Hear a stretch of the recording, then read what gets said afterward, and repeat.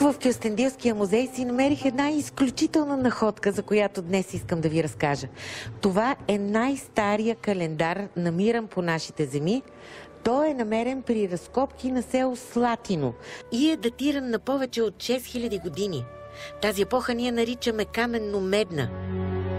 Това е същото време и същата цивилизация, която произвежда и най-старото обработвано злато в света от Варнеския халколитен некропол.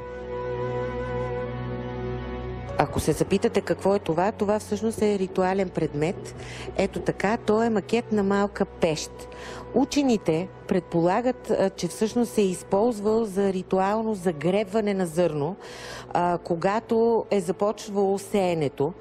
Интересното обаче при него е всъщност неговото гръбче.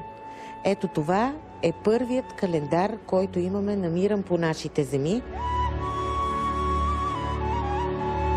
Той е лунен календар. Тук има нарисувани и сезоните. А, по тях нашите прадеди са се ориентирали кога да засяват реколтата си. Ето тук даже има и а, малки лунички, които явно показват, те са съвсем мънички, явно показват фазите на луната.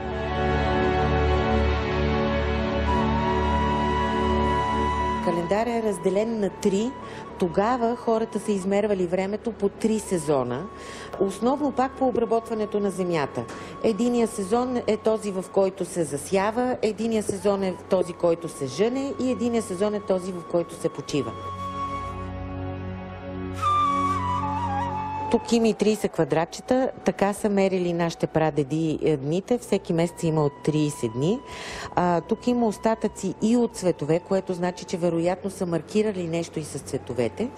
Още по-интересно е, отгоре има три да ги нарека за въртулки, които всъщност са показвали пете допълнителни дни, за да стане годината 365 дни. Още нещо много интересно е това животинче, което е отгоре. Според учените това е червей дъждовник. Защо нашите прадеди а, са почитали дъждовника, никой не, мо, не се нема да каже със сигурност. Обаче със сигурност са го почитали, защото от Слатино има още едно намерено такова животинче. Вижте, това отново е червей дъждовник. А, може би по някакъв начин с плодородието са го свързвали. Може би пък това е първоначалото на култа към змията а, като пазител.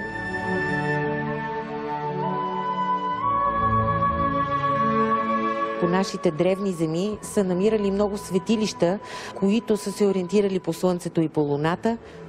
Това, този календар обаче е най-древният от всичко, което е намирано до сега.